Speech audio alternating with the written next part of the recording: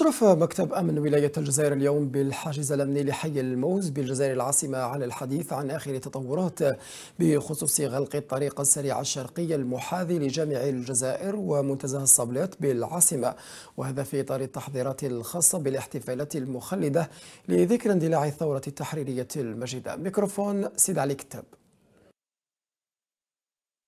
بأن عملية غلق الطريق على المنافذ السالفة الذكر ستكون ابتداء من الساعة الصفر ليوم الاثنين إلى غاية يوم الجمعة على الساعة الخامسة مساء. وذلك حتى نضمن إن شاء الله احتفاليات في مستوى هذا الحدث بإذن الله. وفي جملة من الإجراءات أيضا الأمنية الأخرى أو إن صح التعبير التنظيمية آه، الأخرى على مستوى محطات نقل المسافرين. سيحول مدخل ومخرج محطة البرية لنقل المسافرين من جهة نهج جيش التحرير الوطني ابتداء من يوم الاثنين على الساعة الثانية على الساعة منتصف الليل مع ضمان أدنى الخدمات وتغلق المحطة كليا ابتداء من تاريخ الأربعاء إن شاء الله 30 أكتوبر على الساعة صفر إلى غاية يوم الجمعة أيضا على الساعة صفر.